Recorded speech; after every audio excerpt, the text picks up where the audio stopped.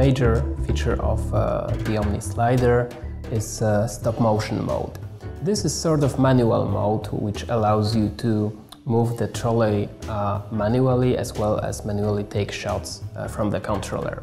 Uh, it has two different modes. The first mode is distance mode. You are able to set the desired distance of each step and then you can take a few shots and travel the desired distance. I assume that I have adjusted my scene, the puppets are in the right positions, so I take one or few shots and then go to next position. The controller also tells me what is exactly the position of the next step. The camera traveled, I readjust my scene and then take another shot.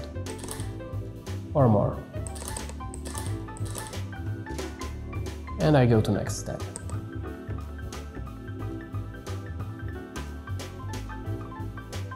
The other mode within the stop motion feature is uh, shots mode.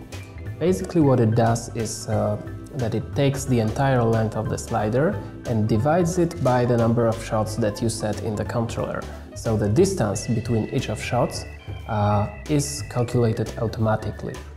That's it. It's pretty simple, but uh, in the right hands it will allow for uh, sophisticated stop-motion sequences.